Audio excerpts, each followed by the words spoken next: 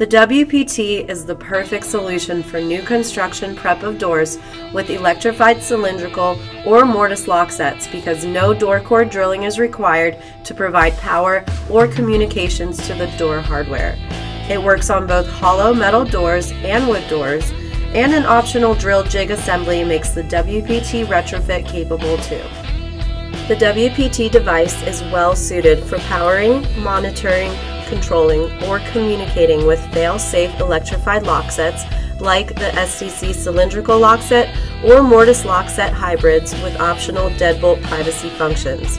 The WPT device also works with other electrified door hardware. Unlike competitive wireless power transfer devices that use magnetic induction for the power transfer, SDC's WPT RF technology sends energy wirelessly across the door gap, while also allowing for transfer of latch bolt monitoring, REX, or data signals.